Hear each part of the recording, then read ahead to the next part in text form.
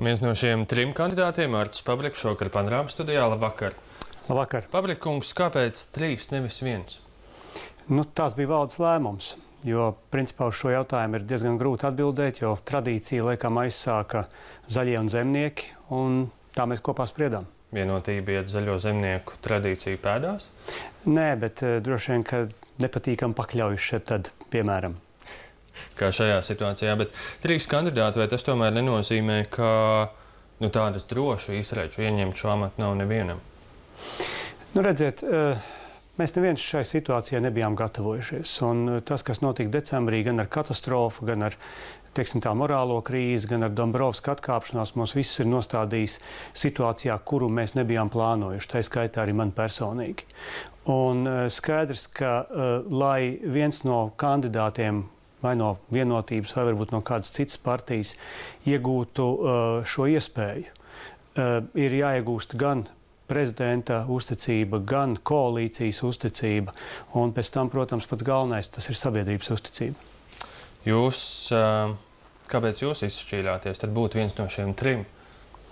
Nu, redziet, nu, nu, es tiešām nebiju plānojis. Un, un, diemžēl, laikam, liktenis tā smējās, ka tad, kad tu vismazāk kaut ko plāno un ka tev vismazāk ambīcijas, tu līdz tam lēmumam nonāc. Un savā ziņā, es domāju, tas piemērs bija man arī Valds Dombrovskis, jo īstenībā jau viņš arī neplānoja savu laiku kļūt par premjeru.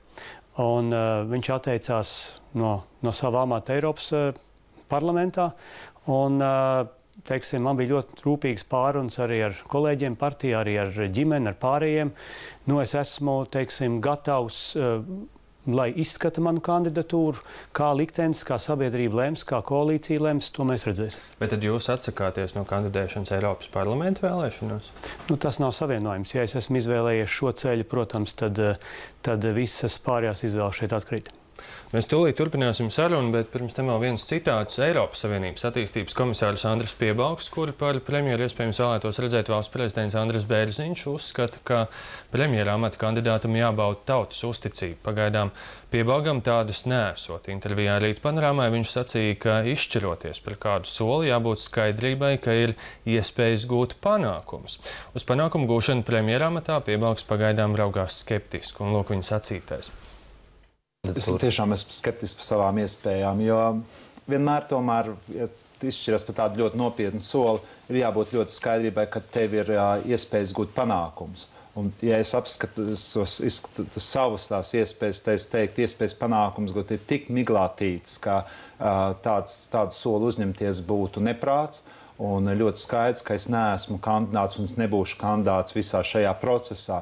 Prezidents man neuzrunāja, viņš vienkārši zondēja manas intereses, jo tā vai tā galu galā balsoja partijas. Tā kā nemaz vairākums šobrīd nebija. Bet tas nav tas galvenais. Prezidents tiešām, tā kā mēs pazīstam viens otru personīgi, uzzvanīja un domāja, vai var rēķināties ar šādu varbūtību. No vienas puses ir manā skatījumā Latvijas politiskai sistēmai būtu jānodrošina pie valdības krīzēm, ka veidos jauna valdība. Jo, teiksim, meklēt kaut ko no malas ir nepareizi, no, teiksim, tīri konstitucionāli, jo tikpat labi jau varētu būt jebkurš Latvijas pilsonis. Es esmu vienkārši vairāk redzamāks un varbūt vairāk akceptējams. Bet es neesmu Latvijas politikā un es neesmu šobrīd arī, man arī nav tautas vēlēta mandāta, kas, kam, kam tomēr ir nozīme. Tam, tam, tam varētu teikt, bet nu, tāpēc ir iet uz vēlēšanām, lai dabūtu tautas vēlētu mandātu. Tad, tā ir tā viena puse. Un otra puse ir. Nāk vēlēšanas, un, protams, tajā situācijā katra partija skatās to, ko viņa dabūs vēlēšanās. Tad savilkt visu kopā un tajā pašā laikā risināt problēmas. Un es varu minēt kaut vai divas, kuras jau esmu saucis. Viena, viss, kas saistās ar traģēdiju Zolitūdē, un otra tā, kas saistās ar nodarbinātību un Latvijas ekonomisko izaugsmu, īstenībā nav tik vienkārši. Tā piebākums šorīt rīt panorāmā pabrikungs, kas jums liek domāt, ka jūs premjera amatā varētu gūt panākums? Ziniet, ja godīgi, tad es patreiz nedomāju par panākumiem tādā tiešā izpratnē, jo piebalkungs šeit nebija pirmais, no kuras dzirdēju, ka tas ir diezgan liels neprāts to darīt. Bet tajā pašā laikā nu, mums politiķiem ir jābūt arī kaut kādai atbildības sajūtai.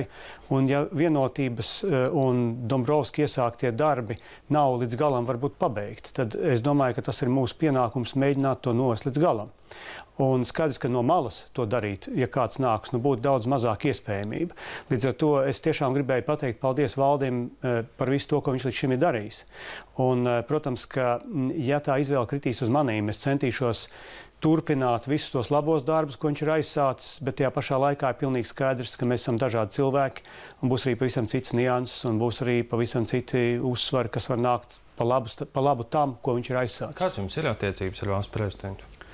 Ļoti lietišķis. Lietišķis. Tas nozīmē labi, apmierinoši. Redziet, es nejaucu politiku ar privāto dzīvi. Un iesaku arī citiem to nedarīt. Es to vienkārši vaicāju, tāpēc, ka, proti, lai varētu novērtēt šīs jūsu vispār izredzes, vai prezidents kungs varētu jūs nominēt kā nākamo premjeru.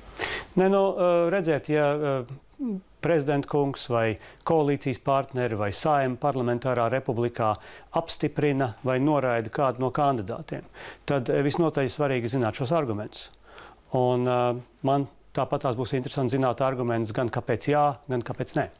Jā, šīs sarunas jau sāksies rīt. Paldies, Pablik kungs, ka bijāt šovakar panorāmas studijā.